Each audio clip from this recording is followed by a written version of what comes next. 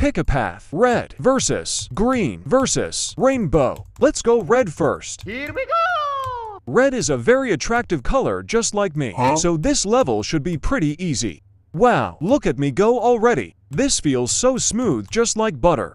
I can literally play with my eyes closed. Almost there guys. Why lol? Oh no! Now it's Shrek time.